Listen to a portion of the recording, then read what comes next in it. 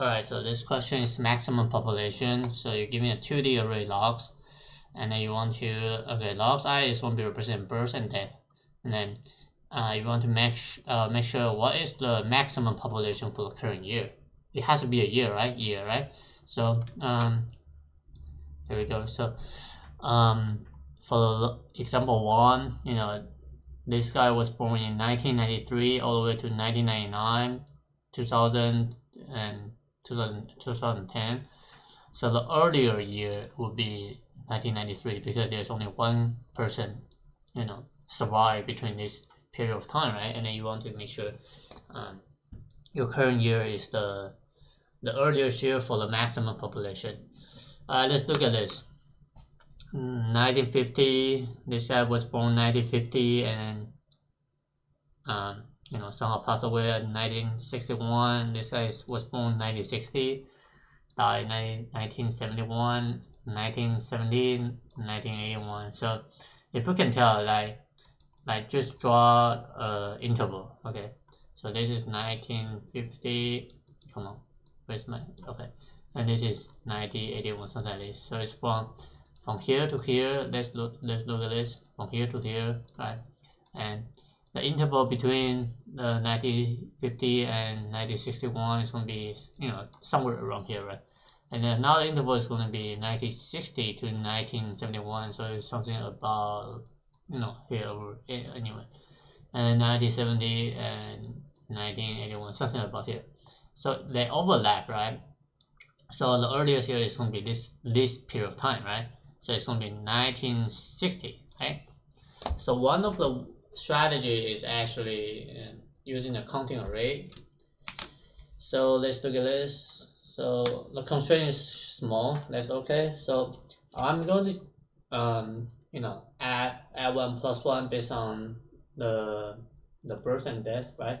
So I'm saying 1951 and then 1961 minus one, and this is 1960 plus 1, 1971 minus 1, and so on, right? And at the end, I'm going to just keep adding the previous value. So 1950, 1951, 1952, so this is what?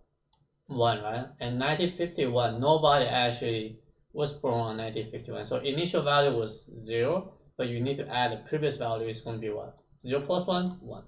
1952 is going to be 1 until 1959 is still 1 how about 1960 the initial value for counter is already 1 already and 1 plus 1 equal to 2 and if this value is more than you know whatever you have and you want to record the value. All right let's back to the coding.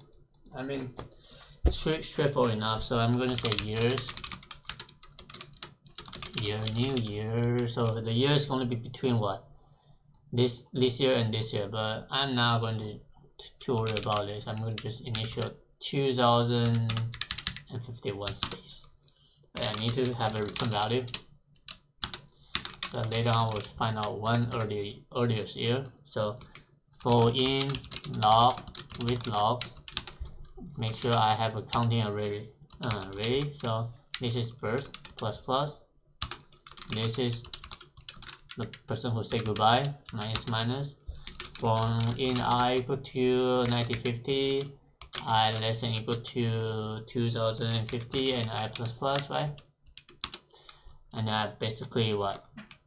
Years plus equal years minus one right? So get the previous value so you'll keep adding. And then if the result sorry so if the years at i is greater than years at result so result should be zero right? Initially it will be zero. You will, you will have to update the result equal to i right? So um yeah. So this is pretty straightforward. So you have 90 50 and then this is one. And then this is uh, result is zero. Years of zero this is zero right? You update the year the earlier year and you get this solution should be okay pass so for the time in space this is space i'm going to say constant right this is time this is time This one is I'm, I'm gonna say constant for the time for here, but this one I'm gonna say O of L. L represent end of the log. So this will be a solution, and I'll see you next time. Bye.